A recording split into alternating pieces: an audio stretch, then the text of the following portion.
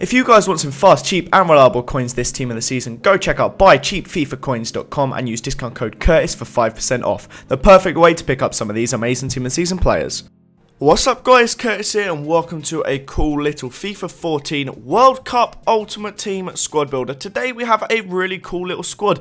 This squad guys is basically a team of the highest rated players I could put together in my club. Now, the abilities I have would have slightly changed since I actually built this because uh, after I built it and won the cup last night, well, almost won the cup, I'll explain that in a second, um, I then opened a load more packs and did get a few extra players. But uh, I'm going to walk you through each player in the team, and at the time of recording, this was the best team I could have built uh, ratings-wise. Also, if we could hit 500 likes, that'd be absolutely fantastic, guys. So please hit that down below. Also, sub if you're new around here. But let's get stuck into it.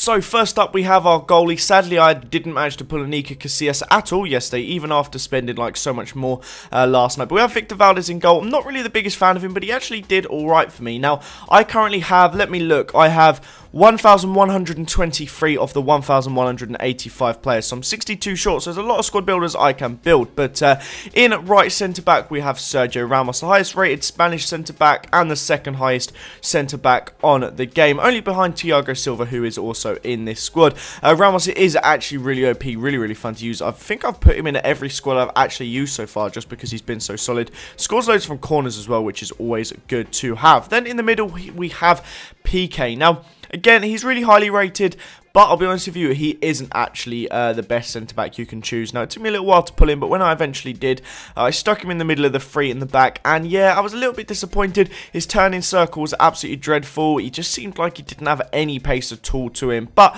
when you have Ramos and then Thiago Silva either side of him, you don't really miss out on too much with him, so I guess you can kind of get away with it, but... Um, as I said, Thiago Silva at left centre-back, really, really solid player with that 80 pace, 87 defending, just some really nice, well-rounded stats, and was just really, really overpowered for me, which is always good to have. Now, like I said, guys, this is based off the highest ratings, not necessarily the best players in each position. So, in central defensive mid, we have Cesc Fabregas. I did actually pull an Iniesta later on in the day, so I guess you can bump that up to, what was it, 89 that uh, Iniesta is. So, um, yeah, so that's that. But uh, like I was saying, I will quickly say it's now one of the next two players loading up on the screen.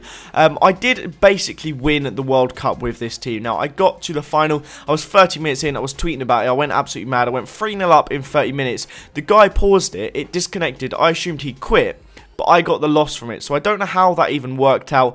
Uh, luckily, the next time I then tried, I won it, but that was with a different team. But we have Ramirez in defensive mid. He is really, really good, and he is mainly in there for chemistry, but I do also think he may be the highest uh, defensive mid that's actually any good from Brazil. Then left mid, we have Neymar. As you'll see on the bench as well, we've got Robben and Ribery. Obviously, they're highly rated ones, which are pushing up the overall team rating, which is useful. Um, yeah, Neymar really, really solid in the right mid. Really enjoyed using him.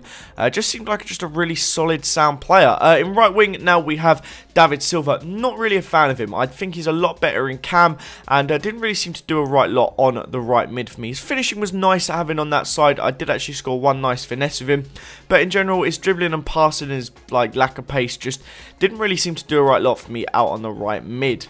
Uh, in cam, we have Oscar. Really, really like this player. Really, really fun to use. He's an 84 rated as well, like he is now on Ultimate Team. So really, really just like nice, well-rounded. Uh, only problem is he's a little bit short and not that strong, but I found that I didn't really care about that. It didn't really make a difference. And he was just putting loads of really, really good balls through to the two strikers, which you're going to see now. Number one is Luis Suarez, and you're going to see in a second as well we have Cavani. Now, they linked up really nicely together. The, uh, the kind of short and tall excuse me, was uh, really nice. Uh, Suarez having 4-star skills, which is a shame because EA said he had 5-star skills in their preview, which is just ridiculous.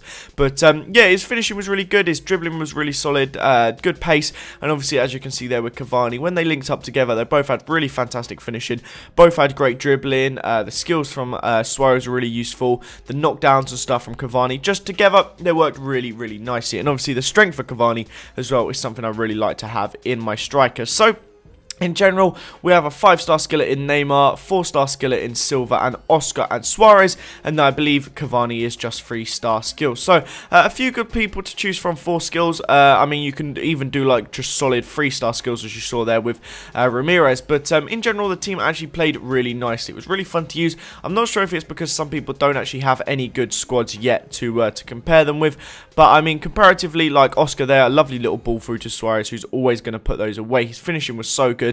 Uh, but yeah, I mean, it just it seemed really fun just to play with, and it like uh, despite them not all being like necessarily the best players playing wise, rating wise, they were the best, and in general they played alright. Piqué was probably the biggest letdown, but other than that, David Silva, meh. But everyone else kind of uh, kind of covered for them, and it was just still really easy and really fun to play. them. And I really enjoyed it. Uh, nice little header there. But I that's the sort of thing you had in this team. There was a lot of different aspects to it. You had the skill, you have the pace, you have the finishing, the strength, the height, loads of different bits. And uh, I personally really enjoyed using this team. And if you have these players, guys, I would actually give it a go because it's a good bit of fun. But this is the highest rated squad I can build in FIFA 14. Hope you guys enjoyed it. Leave a like if you did. Some of you new around here. Have a nice day, and I'll see you all next time. Bye bye.